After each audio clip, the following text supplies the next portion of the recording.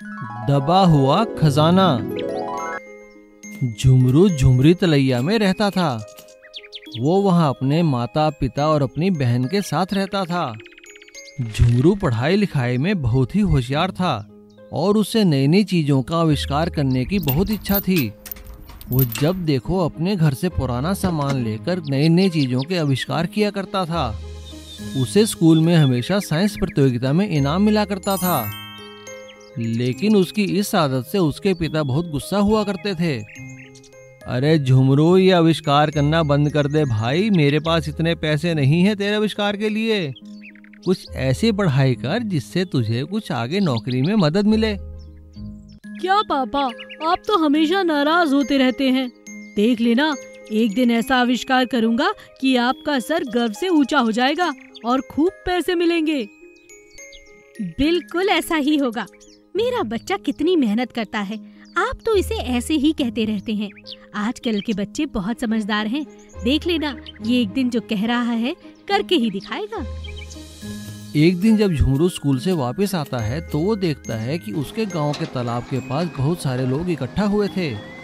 झुमरू पास जाकर देखता है तो उसे पता चलता है कि वो गाड़ियाँ सरकारी गाड़ियाँ थी और वो लोग पुरातत्व विभाग से आए थे।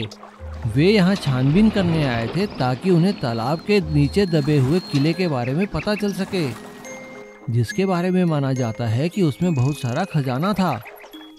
झुमरू घर जाकर इस बारे में अपनी माँ से पूछता है। माँ, क्या ये बात सच है कि हमारे गाँव के तालाब के नीचे एक खजाना छुपा हुआ है? वो कोई पुराना किला है?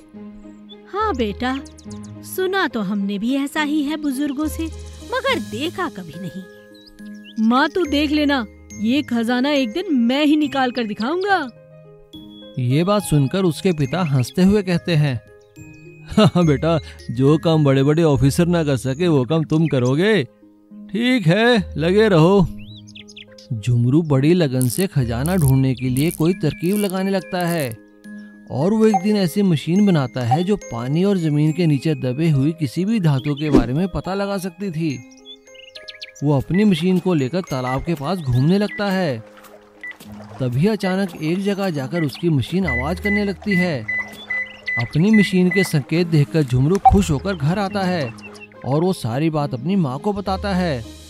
उसकी माँ झुमरू को लेकर गाँव के सरपंच के पास जाती है। उनकी बात सुनकर गाँव के सरपंच कहते हैं, बेटा झुमरू, अगर तुम्हारी ये बात सही निकली, तब तो हमारे गाँव के दिन बदल जाएँगे। गाँव के सभी लोग मिलकर तालाब के नीचे खुदाई करते हैं और काफ़ी गहराई तक खुदाई करने के बाद उन्हें किले के बारे में पता लग जाता है। किला और खजाना मिलने के बाद गाँव के सरपंच, सरकारी पुरातत्व विभाग के लोगों को सूचना देते हैं। सरकार किले और सारे खजाने पर कब्जा कर लेती है, लेकिन वो गाँव की भलाई के लिए काफ़ी पैसा देती है और साथ में झुमरू और उसके परिवार को एक बड़ा इनाम दिया जाता है।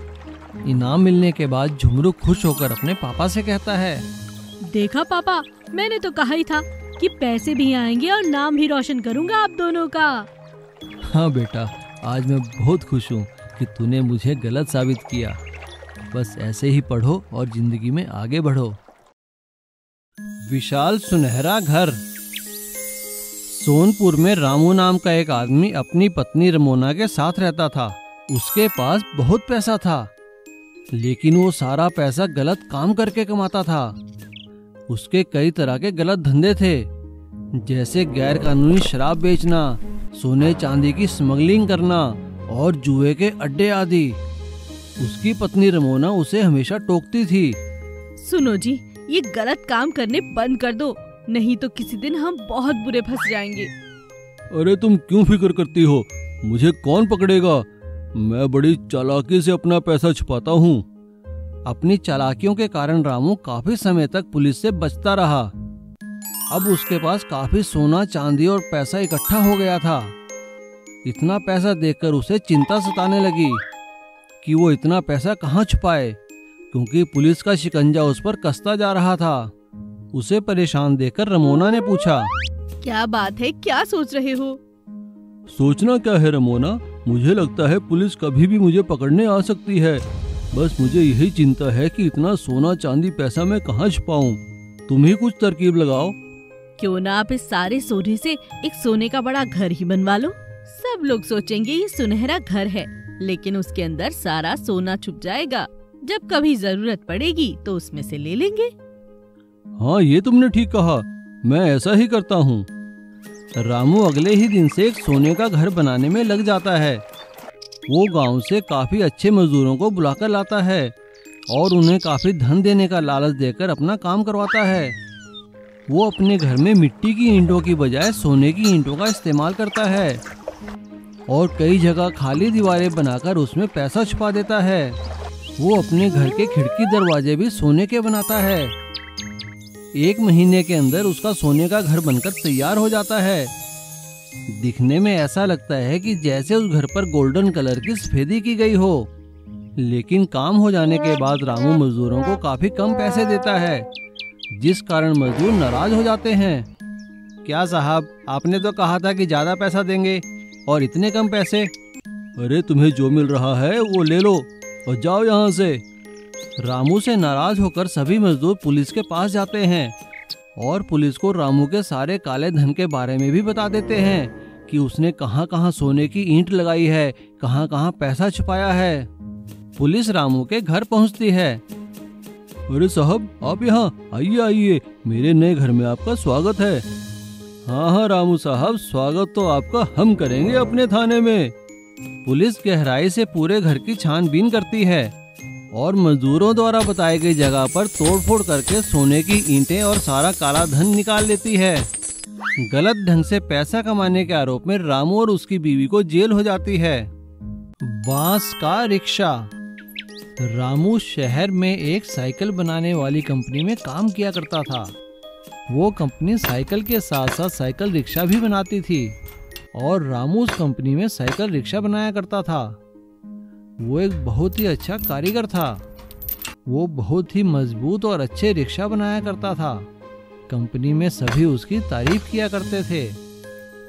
लेकिन वैश्विक महामारी फैलने के कारण कंपनी को अपने मुलाजिमों की छटनी करनी पड़ी और उन्हें रामू को भी निकालना पड़ा।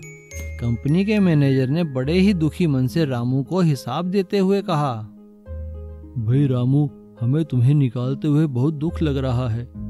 लेकिन क्या करें? तुम देख ही रहे हो, काम कितना कम हो गया है। अब हमें लगता है कंपनी बंद ही करनी पड़ेगी। हम तुम्हें तुम्हारे जितने पैसे बनते थे उससे ज़्यादा ही दे रहे हैं। मुझे उम्मीद है कि तुम ज़रूर कोई अच्छा काम कर लोगे।